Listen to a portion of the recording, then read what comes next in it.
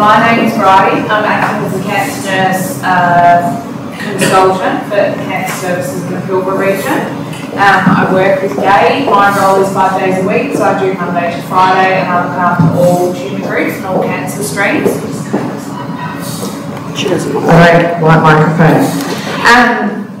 Gay is in the role two days a week. What I provide is support coordination. So a lot of the time I get patients referred to me generally after diagnosis. So it's normally after they've been in person, they've been worked up and they come uh, back to the Pilbara.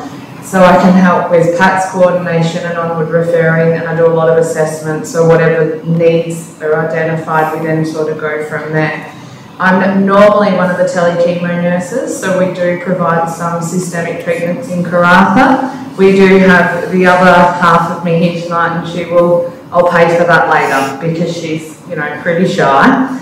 Um, so I also then help coordinate, coordinate uh, triage referrals into telechemo.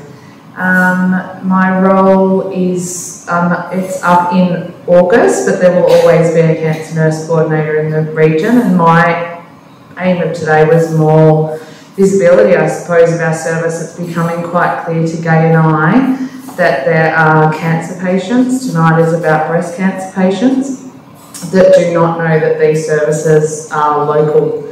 Um, we can receive self-referrals, you can get referred in from GP, Metro, uh, private oncologists, who else, friends, other services. So I've got Solaris, um, Eliza's here tonight from Solaris, there's Reach Us, Pilbara, Well Women's Centre up in Hedland, and even just a friend. So I didn't bring any cards tonight, I apologise. But I'm based in Karratha at the hospital, so if there's any questions, don't hesitate to rock up and, and ask for the, the um, cancer nurse. I'm going to hand over to Gay now because she will give you a little bit more breast specific information. But it was nice to see everyone here today, and I really thank Breast Cancer Network Australia for this opportunity up in Karratha. Thank you.